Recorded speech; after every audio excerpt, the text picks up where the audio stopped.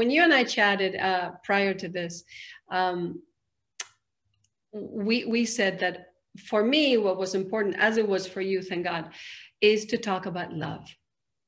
Is to talk about love in general, love in your book in Violeta, which is right here uh, for all of you that would like to go buy it. Please go buy it. It's a, an amazing book, and and it it, it goes the span of a hundred years. And um, I'd love to talk about love in your life, love in her life, and the parallels between both of you ladies' lives and how that has impacted you or affected you throughout the years? Well, first, I have to say that I, in my latest, I would say three or four books, I have old couples falling in love. Uh, that's because I got to be old and I realized that I'm still romantic and passionate and I still want a companion unfortunately, I am heterosexual. So it's not easy to find a man that is still healthy and can talk in full sentences. Not easy. but women are way better, better kept in, in old age. Yeah, in any case, Violeta has a very long life, 100 years. She's born in one pandemic in 1920 and dies in 2020. Born in 1920 and um, and in that hundred years, a, a, century, of course, many things happened to her, and many loves mm. and love affairs happened to her. She marries very young, as women did then, uh, to the, the husband that was supposed to be forever the father of her children. Very boring. And then one day, one, I would say, fortunate day, someone falls from the sky and really falls from the sky because he's a pilot. And he comes in a private plane and lands in the lake. And he's handsome, debonair, sings, dances. He's a war hero. He's legendary. He, he's a pilot, for God's sake. I mean, who would not fall for a guy like that? And, and it is love at passion at, and lust at first sight. And that changes her life completely. This man who becomes the father of her children they never marry, uh, doesn't treat her very well, actually treats her very badly.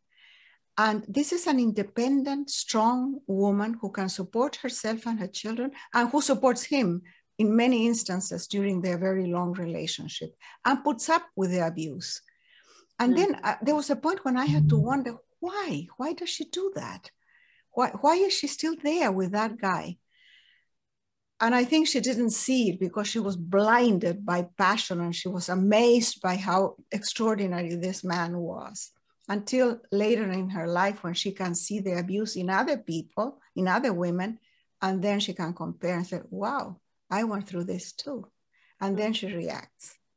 And then at the end of her life, she finds the kind of love that I have now, which is a good companion to, to to share a life with a sense of humor, with tolerance, with a lot of baggage that you carry with you.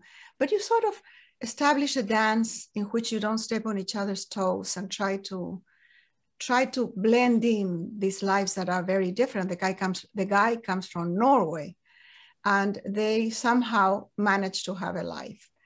And that is what has happened to me. So when I look at Violeta, I didn't intend it this way, Victoria. I promise I didn't, but things happen uh, people have compared my own life with, with hers.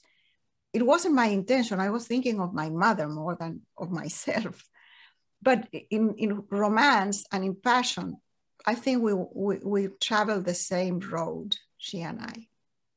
Now, um, what would happen if a pilot just will drop off the sky one of these days over in uh, San Francisco? I would leave Roger in two minutes.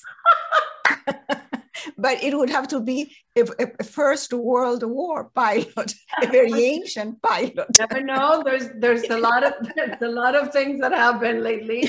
He doesn't, he doesn't have to be in a war in a warcraft. He could be, you know, parachuting down. You never know.